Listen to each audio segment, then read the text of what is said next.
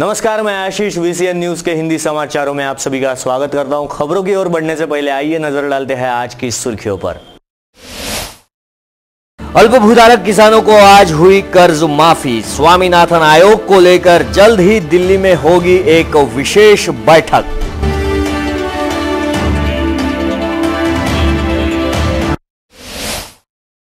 अर्जुन नगर में गंदगी का आलम। तीनों रास्ते से आने जाने वाले नागरिक गंदगी के कारण बेहाल।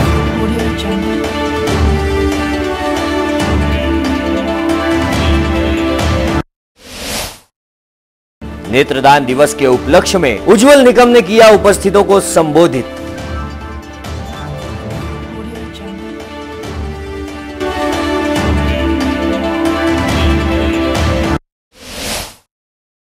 तो ज्योतिबा फुले अभ्यासिका की ओर से ज्योतिबा फुले किताब का विमोचन।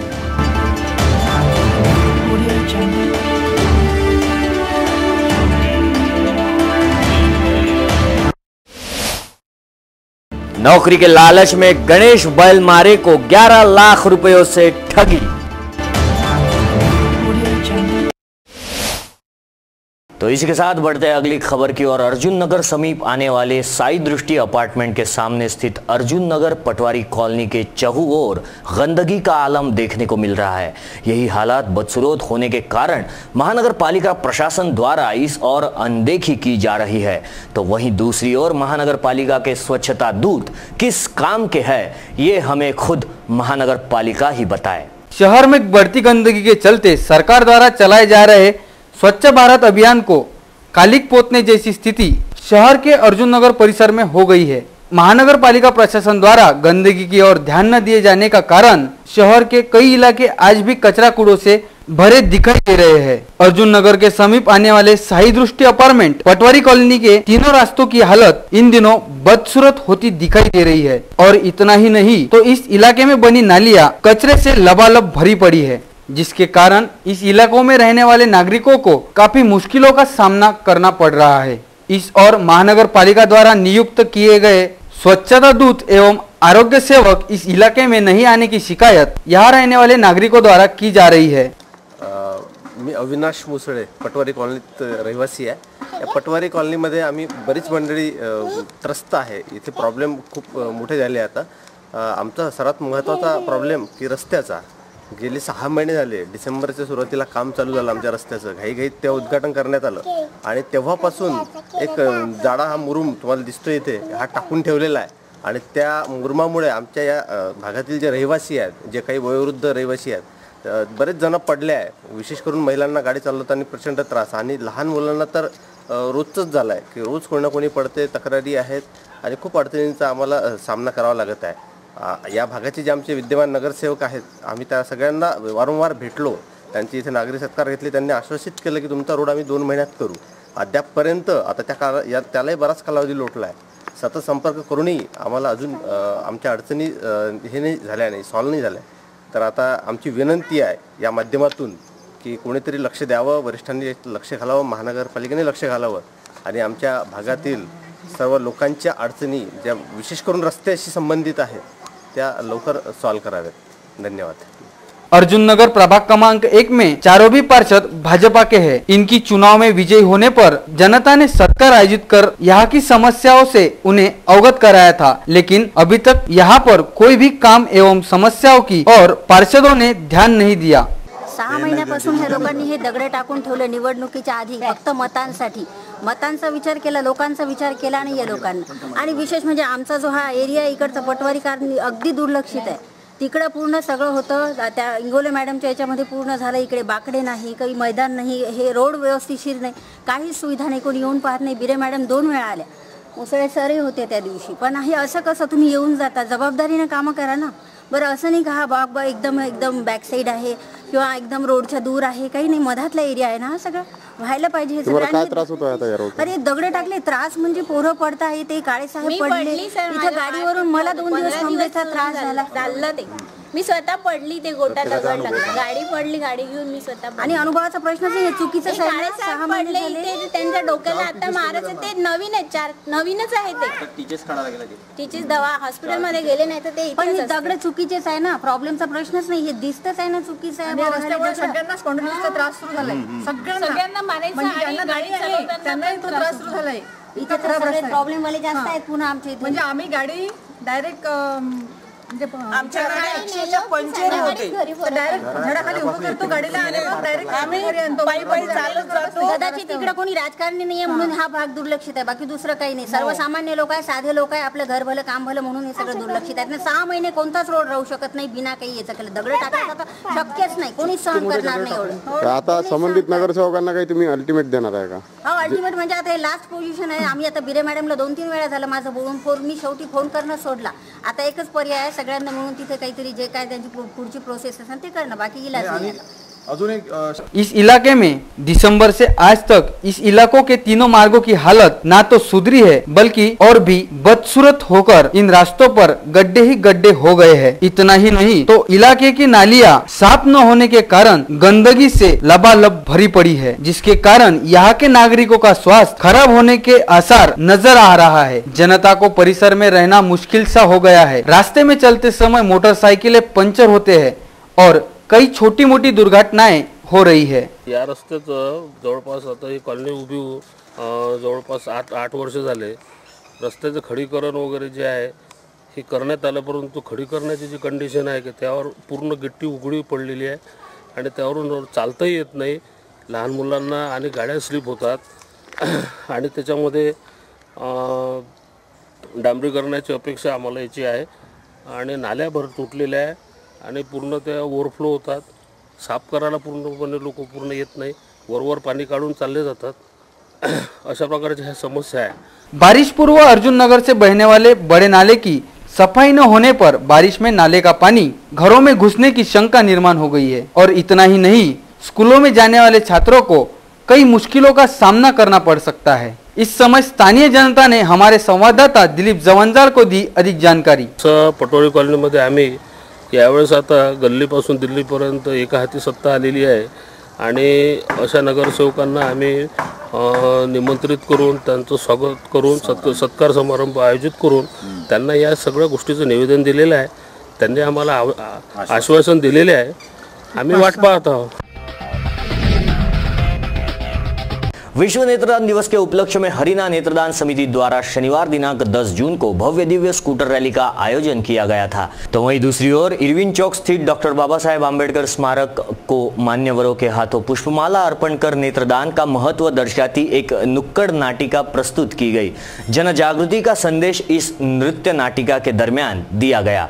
शहर में दिनांक 10 जून को विश्व नेत्रदान दिवस के उपलक्ष्य में हरिना नेत्रदान समिति द्वारा शाम को भव्य दिव्य स्कूटर रैली निकाली गई। इस स्कूटर रैली को पद्मश्री अधिवक्ता उज्जवल निकम एवं विधायक सुनील देशमुख ने हरी झंडी दिखाकर स्कूटर रैली की शुरुआत की। रैली के पूर्व नुक्कड़ नाटिका एवं रैली के जन जागृति संदेश शहर वासियों को संबोधित किया गया। उसके पश्चात रैली का आरंभ किया। रैली रेलवे स्टेशन चौक, बापट चौक, सरोज चौक, मालवीय चौक, इरविन चौक होते हुए सांस्कृतिक भवन पहुँची।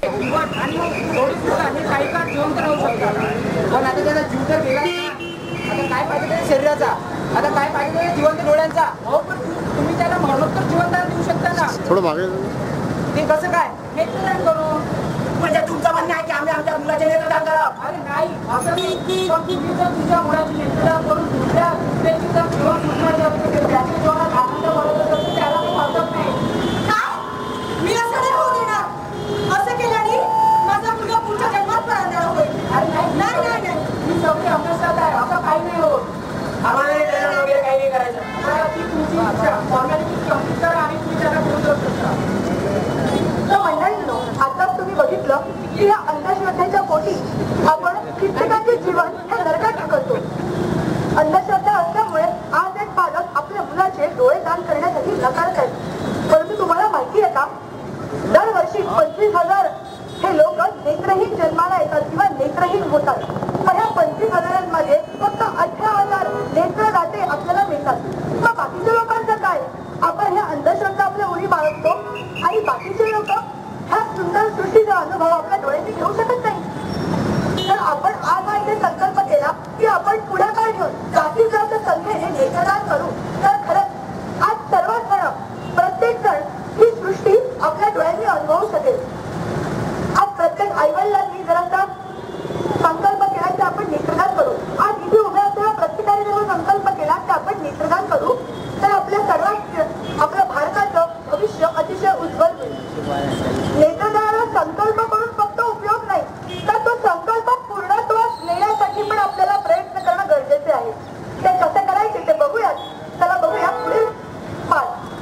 और वहाँ रैली का समापन किया गया।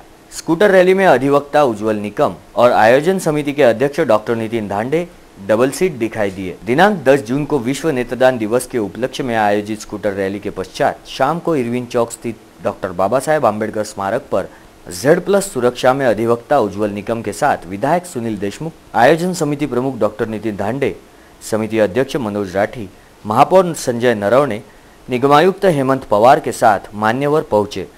रैली के पूर्व राम मेघे इंजीनियरिंग कॉलेज के छात्रों ने नेत्रदान का महत्व दर्शाते हुए नुक्कड़ नाटिका प्रस्तुत की। अधिवक्ता निकम व मान्यवरों के कर कमलों द्वारा डॉक्टर बाबा साहेब आम्बेडकर की प्रतिमा को माल्यार्पण कर अभिवादन किया गया। रैली में बड़े पैमाने पर युवक युवतियाँ एवं छात्र शामिल हुए थे। रैली में नेत्रदान करो और दोबारा दुनिया देखो। शरीर मरता है, आत्मा अमर है और नेत्रदान ही स्वयं आत्मा है।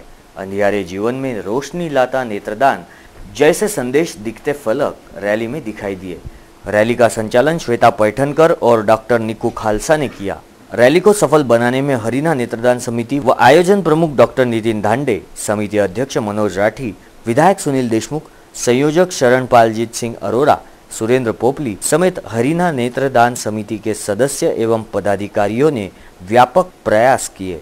सांस्कृतिक भवन में आयोजित इस समारोह में पालक मंत्री प्रवीण पोटे समेत आमदार रवि राणा इन्होंने अपनी हाजिरी दी और उसी के साथ उपस्थितों का पुष्पगुच्छ देकर स्वागत भी अध्यक्ष श्री मनोज जी राठी आयोजन अध्यक्ष डॉक्टर नितिन भांडे, संयोजक श्री अरोरा जी, सचिव अमित खांडक, या शहराचे आमदार रवीजी राणा, या शहराच्या महानगरपालिकेचे आयुक्त श्री पवारजी आणि या समितीचे सर्व सन्मान्य सदस्य आणि उपस्थित बंधू भगिनी. आज येथे हजर होताना मला अतिशय आनंद होत आहे. अनेक विविध खटल्याच्या निमित्ताने मी कोल्हापूरपासून भंडाऱ्यापर्यंत अनेक खटले चालवले. आपल्या शहरात देखील यापूर्वी अकरा वर्षापूर्वी येऊन गेलो होतो एका खटल्याच्या निमित्ताने. अनेक सामाजिक कार्यक्रमाला उपस्थित राहील.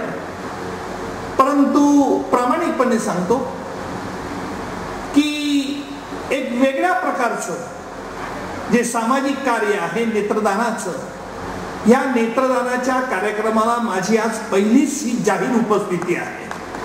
आणि सुरुवातीला मला वाटत होत की मी का यावं? हा प्रश्न माझ्या मनात होताच. असं आहे की एखाद्या कार्यक्रमाला जायचं म्हटलं म्हणजे माझे शनिवार आणि रविवार जे अर्थात माझे खाजगी असं काहीच आयुष्य आता राहिलेलं नाही. त्यामुळे शनिवार आणि रविवार अनेक पुढे कुठे जायचं आहे पुढच्या खटल्यात काय करायचं आहे त्याची उजळणी. कारण जस जसं तुमचं नाव येत जातं तस तसं तुमच्या मागे अपेक्षांचं ओझं वाढत जातं. आणि हे अपेक्षांचं ओझं मग जनतेच्या अपेक्षा असतात सरकारच्या अपेक्षा असतात. प्रवीणजी पोटेंनी मागे सांगितलं की उज्ज्वल निगम आले म्हणजे काहीतरी चमत्कार घडणार. असं होत नाही. त्याच्याकरता अथक परिश्रम करावा लागतात. आणि मग या दोन दिवसाच्या सुट्टीमध्ये अशा रीतीने मला माझं होमवर्क गृहपाठ ज्याला म्हणता येईल असं तयार करावं लागत असतं. आणि म्हणून मी सुरुवातीला थोडस विचार करत होतो की यावं की नाही जावं की नाही. परंतु शेवटी निश्चय केला. ही मंडळी बोलतच आहे. त्यामुळे आपण गेलं पाहिजे आणि त्यानिमित्ताने मी आज जाऊन मला अतिशय आनंद होत आहे की या चांगल्या कार्यक्रमाला उपस्थित होत असताना रवीजींनी आणि प्रवीणजी भाऊने खंत व्यक्त केली लोकांच्या उपस्थितीबद्दल. पण आपण एक लक्षात घेतलं पाहिजे की मी नेहमी वाईटातून चांगला अर्थ काढत असतो. जे उपस्थित आहेत ते खरे साक्षर आहेत. आणि म्हणून साक्षर माणसाला आपण ज्ञानार्जन दिलं म्हणजे ते इतरांना पोचू शकतात इतरांना माहिती देऊ शकतात असा माझा आजपर्यंतचा अनुभव आहे. आपण एक चतुर्थांश लोक भारतात आज अंध आहेत. त्यांना मदत मिळत नाही. अंधत्व येण्याची कारण अनेक आहेत. पण हे अंधत्व कायमचं असतं का? हा मूलभूत प्रश्न आहे. आणि म्हणून ज्याला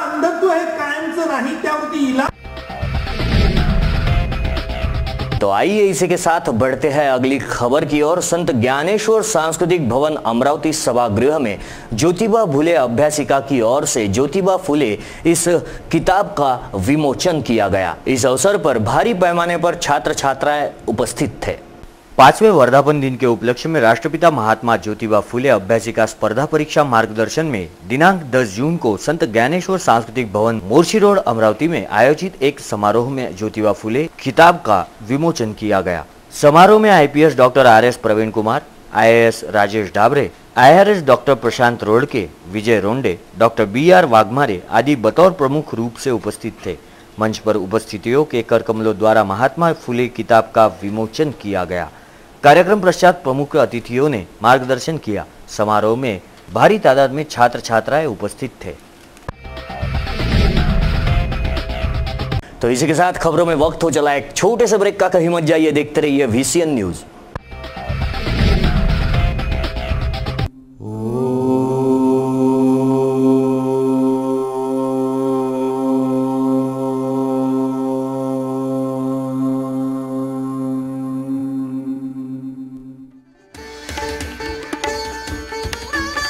असेल आजचे भविष्य? कसा असेल आजचा दिवस? समस्यांचे समाधान. साधूया. संवाद भविष्यावर.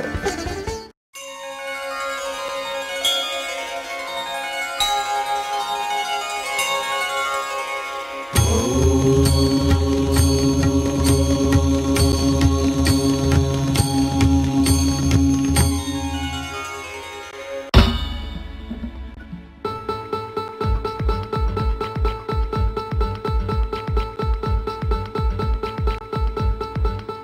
शान घरचा मान घराकडे तिचे सर्व ध्यान.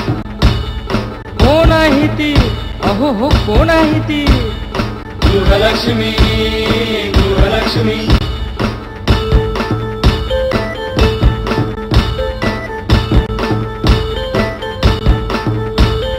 ममते पोटी प्रेमासाठी झटते नेहमी घरच्यासाठी.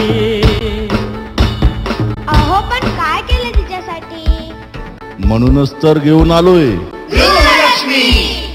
आनंद एका स्त्रीचा. अग बाई.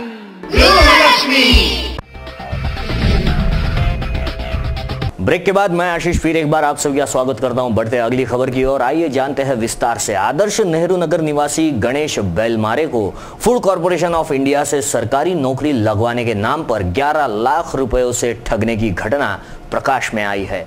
ठगने की इस बात को ज्ञात होते ही बैल मारे की शिकायत पर फ्रिजरपुरा पुलिस ने दोनों लोगों को गिरफ़्तार कर मामला दर्ज किया है और आगे की जाँच को आरंभ किया है। स्थानीय शहर के आदर्श नेहरू नगर में रहने वाले एक युवक को सरकारी नौकरी लगवाने के नाम पर 11 लाख रुपए लेकर ठगने की घटना सामने आई है। इस युवक को नकली ऑर्डर देने की बात भी प्रकाश में आई है। सूत्रों के आधार पर मिली जानकारी के अनुसार, आदर्श नेहरू नगर में रहने वाले गणेश किसान बैलमारे उम्र 60 ने पुलिस स्टेशन में दी शिकायत के अनुसार मंगेश वानखड़े, रहने वाला परिगणित कॉलोनी अमरावती एवं आशीष जाधव बुल्ढाना, इन दोनों ने मिलकर फ़ूड कॉरपोरेशन ऑफ़ इंडिया में नौकरी दिलवाने का झांसा देकर 11 लाख रुपए की मांग की। नौकरी की लालसा में बैलमारे ने रुपए देने की तैयारी दर्शाई। इस बीच फ़िलहाल तीन लाख रुपए देने होंगे। ऑर्डर मिलने के पश्चात बची रकम देने की बात तय हुई। तब बैलमारे ने तीन लाख रुपए दिए। रकम देने के पश्चात मंगेश वानखड़े ने आशीष बैलमारे के नाम की ऑर्डर दी। ऑर्डर लेकर आशीष बैलमारे, पिता गणेश बैलमारे पुणे गए। वहाँ दोनों से पुनः पैसों की मांग कर आठ दस दिन अभी और लगेंगे, ऐसा कहा गया। पूरे रुपए देने के बावजूद भी नौकरी नहीं मिलने के कारण गणेश बैलमारे ने फ्रिजरपुरा पुलिस थाने में शिकायत देने पर मंगेश वानखड़े एवं आशीष यादव के खिलाफ मामला दर्ज किया गया है। अधिक छानबीन जारी है। तो आइए बढ़ते हैं अगली खबर की ओर। आपके सामने आ रही एक दुखद घटना। अमरावती शहर के वीएमवी रोड स्थित अजिंक्य कॉलोनी निवासी जयश्री अरुण इखार, उम्र 44 इनकी कपड़े सुखाते समय बिजली का करंट लगने की वजह से दर्दनाक मौत हुई है।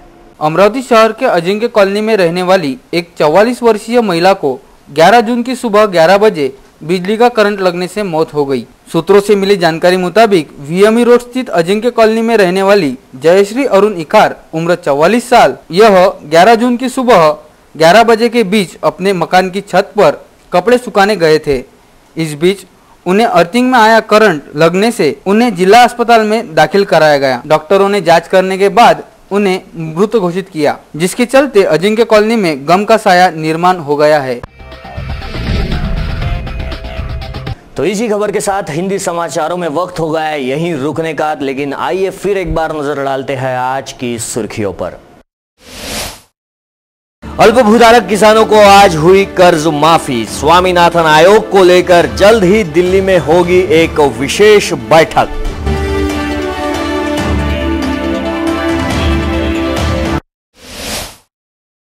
अर्जुन नगर में गंदगी का आलम। तीनों रास्ते से आने जाने वाले नागरिक गंदगी के कारण बेहाल।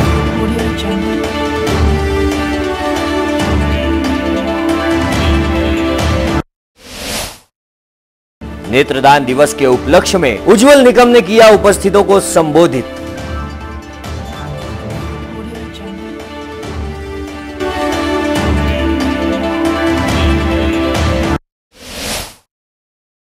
ज्योतिबा फुले अभ्यासिका की ओर से ज्योतिबा फुले किताब का विमोचन।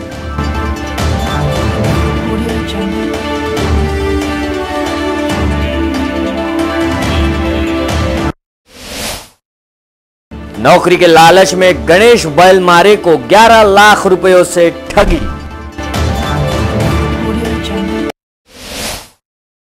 तो ये थी आज की सुर्खियाँ। हिंदी समाचारों में आज के लिए बस इतना ही। आप आपके सुझाव एवं समस्याएँ हमें भेज सकते हैं। हमारा पता है साउजी कॉम्प्लेक्स, सतीधाम मंदिर रोड रायली प्लॉट, अमरावती। या फिर आप हमें संपर्क कर सकते हैं स्क्रीन पर दिए गए इन नंबरों पर। तो हिंदी समाचारों में आज के लिए इतना ही। विदर्भ से जुड़ी तमाम खबरों के लिए आइए देखते रहिए वीसीएन न्यूज़ नमस्कार।